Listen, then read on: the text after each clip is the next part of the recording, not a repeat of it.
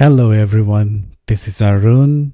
Welcome back to the channel. Today we're going to take a look at another video on BI Publisher and we're going to add a parameter to the data model that we have.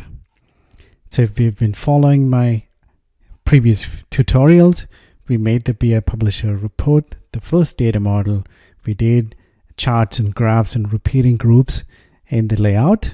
So today we're going to take a look at how we can add a parameter so the user can select value and the data or the output is restricted by the value that is selected by the user. If you're new here, my name is Arun. I make videos on ERP Cloud, EPM, integrations, and analytics. If you like those topics, make sure to subscribe to the channel. All right, let's get started. So here's the sample report that I have. All right, here we have it. I know it, it shows the invoice number, date, the description, and the invoice amount. All right, let's go back and check, take a look at the data model. So I'm going to go back to the catalog. Let's go to the data models folder, click on edit. Here we have the data set.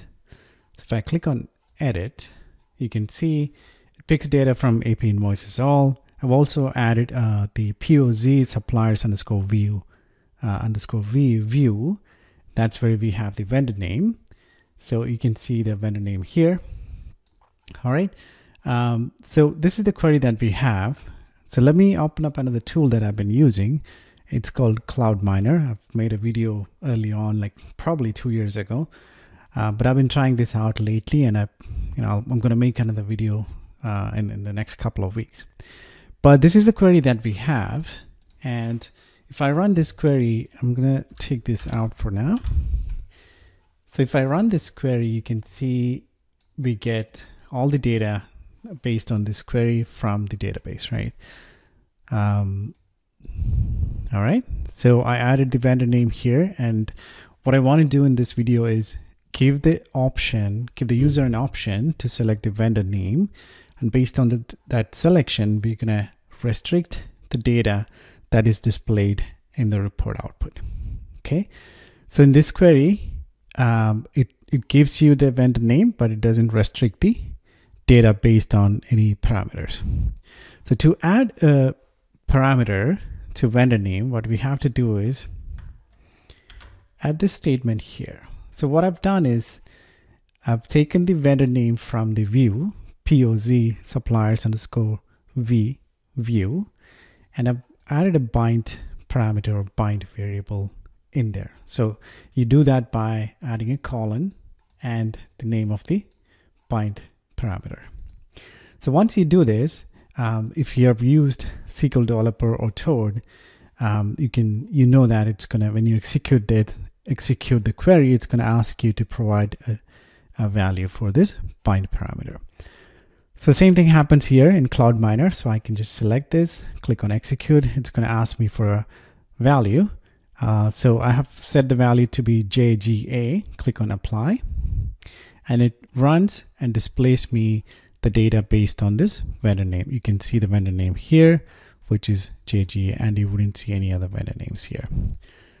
So just let me run it one more time, and I'm going to change the value to Office Depot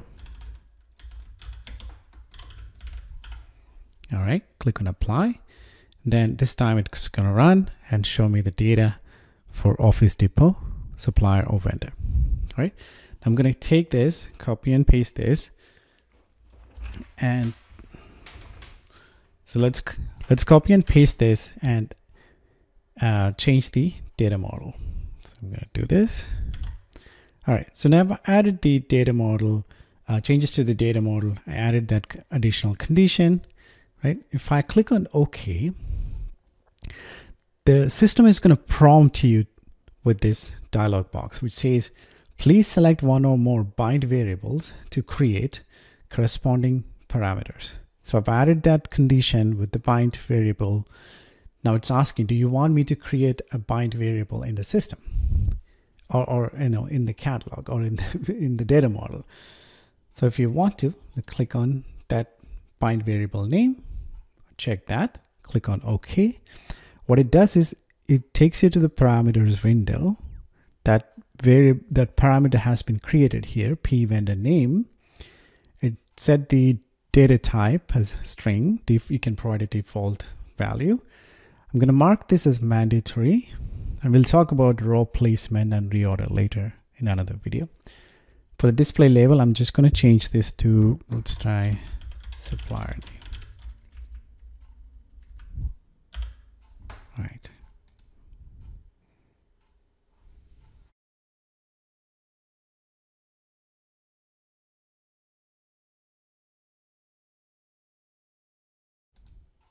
So this is supplier name. So if I just input something random, click on view, not going to show me anything. So now let me change this to JGA. Click on view. It's going to give me the data. Let's change this to off.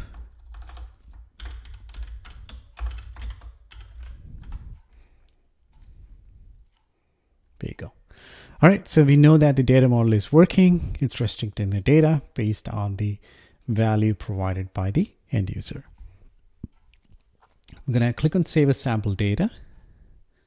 Then click on save. Go back to the catalog. And let's go to the report. Click on open. Now what's going to happen is um, you know, it's going to show you the option to select the or enter the supplier name. I'm just going to say JGA, click on apply. And it, you know, runs and it shows me the report output. But I don't see the supplier name here to even validate that this data is correct, right? So what I'm going to do is I'm going to have to change the layout because the last time when we created the layout, we didn't have the supplier name. So let's go ahead and add the supplier name into the report. So how do we do that? Click on the gear icon, click on edit report. Uh, I just want to make sure that how many layouts. So I have only one layout, so I can now click on edit. It takes me to the layout editor, and this is where you can change the um, layout. So here I'm just going to add vendor name between the invoice number and invoice date and change the column header.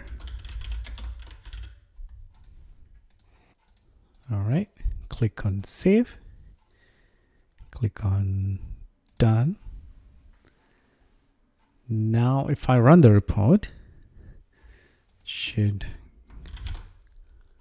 click on apply and here you can see that all of the data that we have in this report is pertaining to that specific supplier. So I'm just going to change this to Office Depot. Click on apply. Now you're going to see all of the data pertaining to that specific vendor. All right, so this is how you can add a parameter to the report and to the data model. So to uh, preview one more time, we added an additional condition with the bind variable. Uh, and you add the bind variable by specifying colon and the name of the variable. In this case, we added colon p underscore vendor underscore name.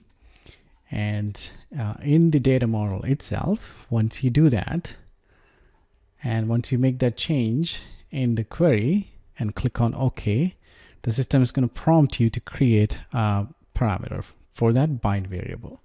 In this case, we saw the parameter here, which is p underscore vendor name, but the display label, we went ahead and changed the display label to supplier name, made it mandatory, and we saved. Then we went ahead and changed the layout because the supplier name was not there in the layout. So we added that into the layout and uh, everything worked out. All right. So in this video, I just wanted to show you how to add a new parameter to the data model.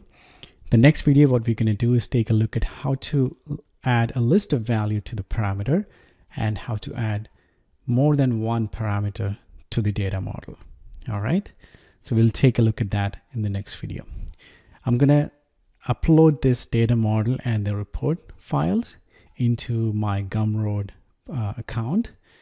Um, you can download it for free but if you want to support my work, you could pay whatever amount you feel like is is good that's it for today if you have questions on this video uh, feel free to ask the questions in the comment section and uh, make sure to uh, like and share this video and also subscribe to the channel i will leave a link to everything that i've mentioned in the description of the video all right that's it for today i wish you all a great week ahead and make sure you're connected with me on LinkedIn and Twitter. Ask any questions you have, and uh, I will talk to you in the next one. Take care. Bye bye.